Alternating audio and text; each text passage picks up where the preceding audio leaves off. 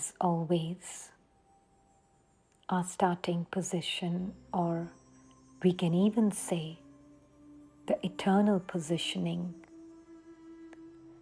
the positioning which has no beginning and no end, because that is the true nature of every being eternally. To be the embodiment of truth.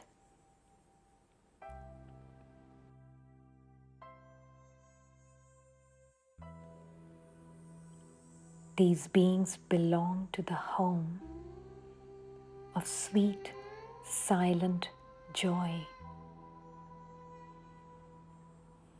They belong to one supreme soul in whose presence all souls feel very special, very loved, absolutely worthy of the love of the Supreme for eternity. Each and every being is radiating naturally without even knowing the fragrance of spiritual love. This is the atmosphere of this home.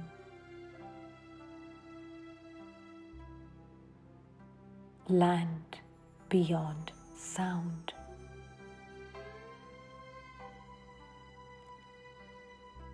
There's a deep sense of belonging to each other and to the Supreme Father in this home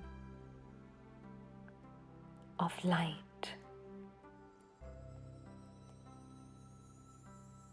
This is the truth of all our relationships, which never change. Constant exchange of this extreme joy and extreme love.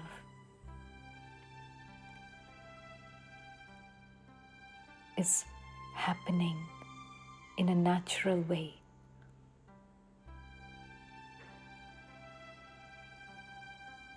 This is the eternal truth of all of us beings of light and the eternal truth of our relationships with each other and with the Supreme.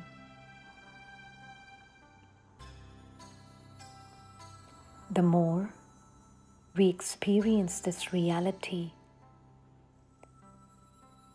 the more it starts to reflect, even at the level of the play.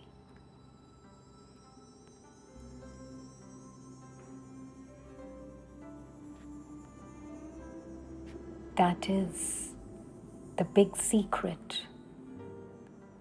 And the secret is not to try and fix things at the level of the drama or the play.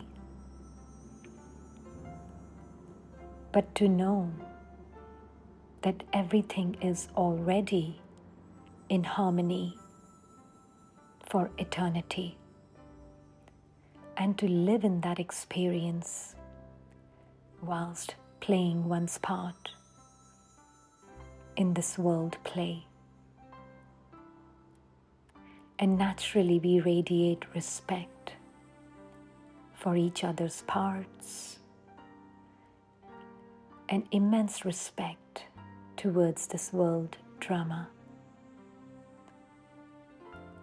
Because the beings who are the angelic, divine, silent beings of truth and peace, now when they come to this world play, their original sanskars stay emerged.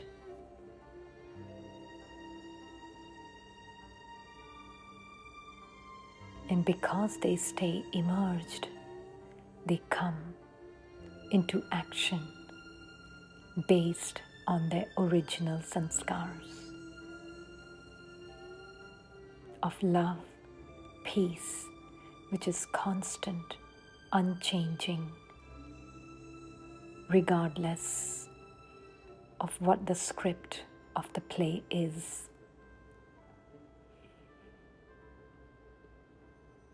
Be the truth, live the truth, and see the truth. Om Shanti.